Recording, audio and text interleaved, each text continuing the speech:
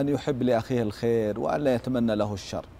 في الواقع أن ما نشاهده الآن حتى ما حصل مع أول أخوين على على البسيطة كلها اللي هو أبناء آدم عندما تمنى أحدهما الضرر أو قتل أخيه لأنه آه، حسده لماذا تقبل منه ولم يتقبل منه. انظروا كيف كان يعني آه، يعني الشيطان حاضر حتى بين أول أخوين في البشرية.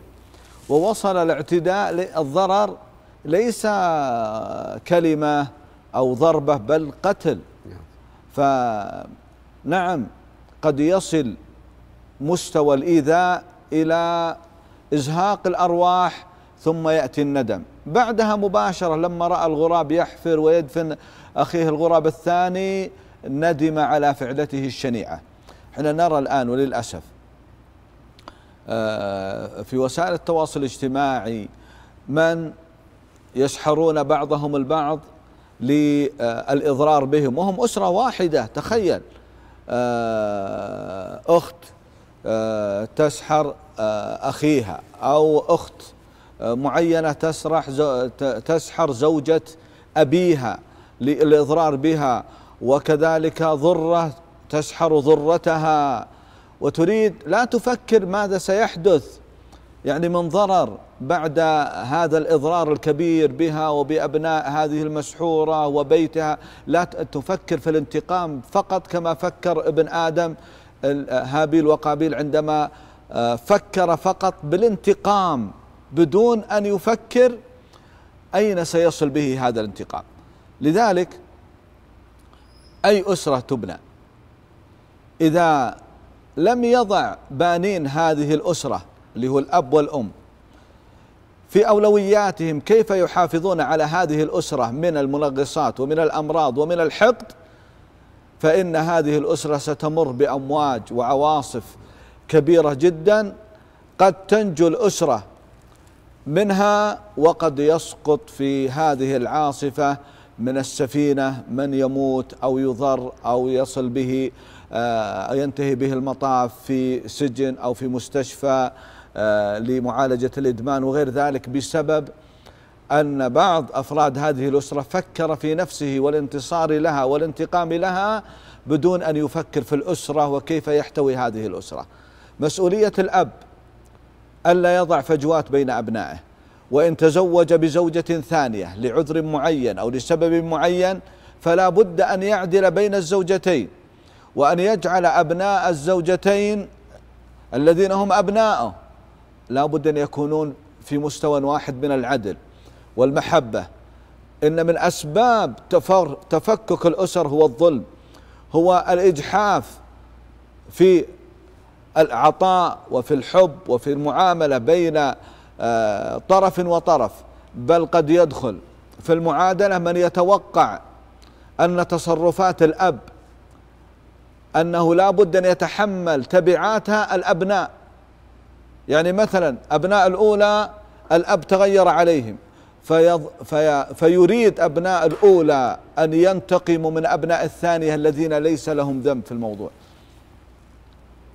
بالإضرار بالحسد بالسحر بالكلام بالبغض بالتحزبات عنهم ثم ينسون رابطة الأخوة وينشغلون بالانتقام لماذا يعطيهم هذا الأب أكثر ما يعطينا أو يهتم بهم أكثر ما يهتم بابنه ثم تقع هنا القطيعة والضرر. فلا بد لا دائما الأب مسؤول الأم الأولى والثانية مسؤولين.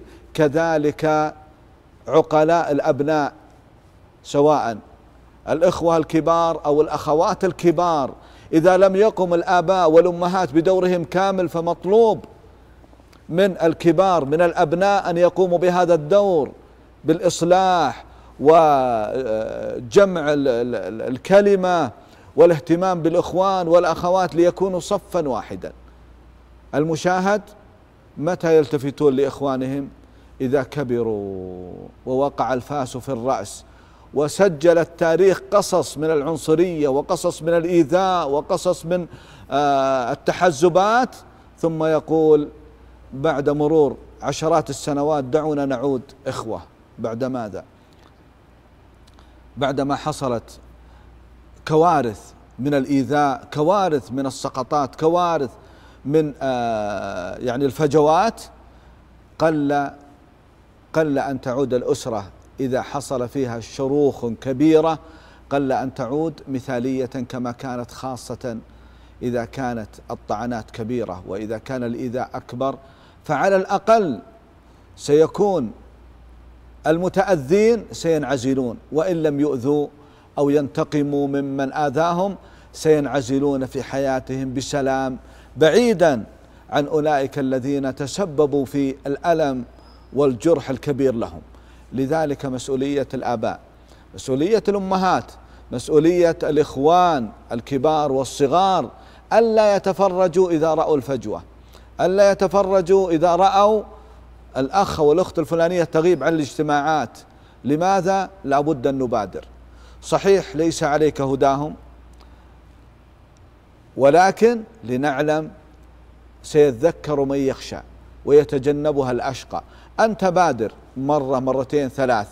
فإن لم يحصل ما تريد فعلى الأقل ابدأ بنفسك وكن أنت صلة الخير. أنت المبادر. نعم سيصل بعض الناس إلى درجة من لا نقول اليأس لا قدر الله لكن سيقول أنا تعبت مع هذين الطرفين أو هذه العينة من الإخوان أو الأخوات التي دائما تريد أن تأخذ ما لها عرفا وشرعا من الحقوق ولا تريد أن تعطي. بحجة أنا أفضل. أنا أنا مفروض آخذ أولا ثم أفكر أعطيكم حقوقكم ولا لا. أو نعم نعم يعطيهم من اللسان حلاوة وإذا أتت المواقف فإذا بالمواقف شنيعة جدا أو سلبية أو سلبية. لذلك مهم جدا. يا من تريد أن تبني أسرة قوية لابد أن تتذكر أن استثمارك الأول والأخير بعد الله جل وعلا في دخولك الجنة هو استثمارك في عائلتك. عائلتك التي هي أول حاجة والدك ووالدتك وإخوانك سواء الأشقاء أو من أبيك أو من أمك ثم في أسرتك الأولى زوجتك وأبنائك. إذا نجحت في هذه الدائرة الصغيرة ثق ثقة تامة أنك ستكون أسعد الناس وأقواهم نفسيا وهمة لأن ظهرك محمي وستنطلق إلى العالم وإلى الإنجازات والإبداعات بظهر محمي وصحة نفسية قوية. أما أن نتفرج على المشكلات بين آه، الإخوة والأخوات أو أن يكون الأب متفرج بين أبنائه وهم يعني آه، يتشاجرون ويتصادمون وكأن الأمر لا يعنيه. ألا كلكم راع ومسؤول عن رعيته أستاذ منصور لو قاطعتك. يا سلام. سيسأل هذا الأب الساكت. سيسأل هذا الأب الساكت. سيسأل هذا الأب الساكت عن الجور الذي أو عن المشكلة اللي هو سببها هو اللي صنعها في البداية. فإذا سمحت لي أشاركك في هذه أي نعم. ورد عن النبي صلى الله عليه وسلم في قصة أن أحد الصحابة رضي الله عنه وأرضاه. والقصة في الصحيح. أراد أن يعطي أحد أبنائه وهو من آه، إحدى زوجاته. أراد أن يعطيه جزء من مزرعة أو أرض. فقالت الأم وقد علق أهل شراح الحديث قال كانت فيها نباهة وخشية من الله جل وعلا. هذه من القيم العظيمة قضية الخشية من الله. قالت أشهد على ذلك رسول الله صلى الله عليه وسلم. أشهد على ذلك رسول الله صلى الله عليه وسلم. فإذا به يأتي للنبي عليه الصلاة والسلام ويقول يا رسول الله قد منحت ابني هذه هذه الأرض. فيأتي النبي صلى الله عليه وسلم بالقيمة العظيمة في المساواة. ذكرناها ونذكرها ونكرر المساواة والعدل. المساواة هذه قيمة عظيمة. قال أكل أولادك نحلتهم أو أعطيتهم؟ قال لا يا رسول الله. قال لا أشهد على ذلك. وجاءت ألفاظ تخوف. قال لا أشهد على جور. لا أشهد على جور. اتقوا الله واعدلوا بين أولادكم. اتقوا الله واعدلوا بين أولادكم. هذا قول النبي صلى الله عليه وآله وسلم. قيمة عظيمة جدا أعطانا محمد عليه الصلاة والسلام الذي لا ينطق عن الهوى. وجاءت بعض الروايات أتريدون أن يكون لك في البر سواء؟ فالله الله بقضية العدل والمساواة بين الأولاد. حتى لو كانوا من أم واحدة قد يكون أحسنهم خلقا وأطيبهم تعطيه عطية زيادة عن إخوانه. لا يصح هذا. إلا إذا أنت صنعت هذا أجاز أهل العلم لا أنت صنعت. من يعمل للعمل الفلاني أعطيه.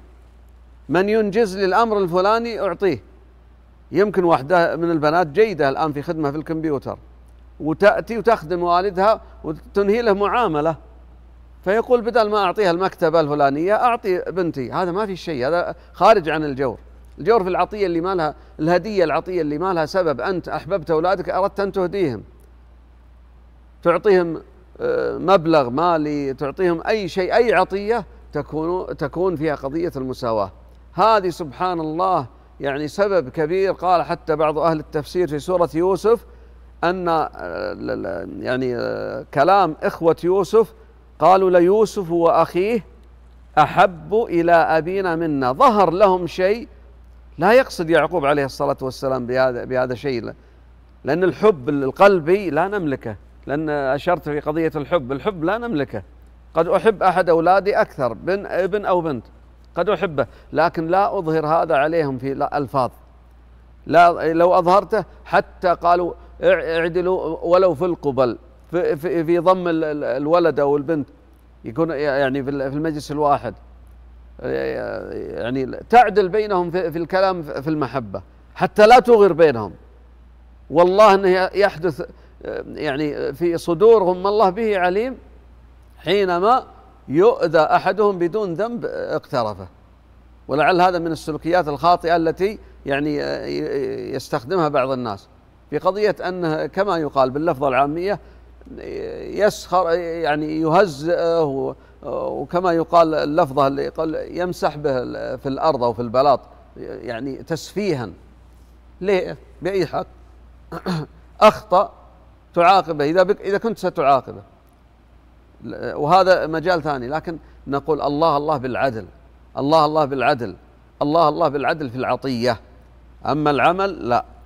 العمل هذا يعني كأنك كأنه أجير عندك الابن أو البنت في عمل الشيء الفلاني تعطيهم بمقدار وهذا ما يدخل في قضيته. لو قال لك أخوك ولدك فلان أو أمهم قال أنا قلت لهم ولا قام إلا فلان ولا زين الشغلة إلا فلانة ولا حط كذا إلا فلان فأنا أعطيت جائزة من يعمل لي كذا تراه كذا بدل ما أسويها في المكتبة بدل ما أسويها في أحد ثاني. فننتبه لهذه النقطة. اتقوا الله واعدلوا بين أولادكم. لا أشهد على جور قالها صلى الله عليه وسلم حينما أعطى أحد الصحابة ابنه عطية دون إخوانه الباقين. طيب الشيخ الآن سبحان الله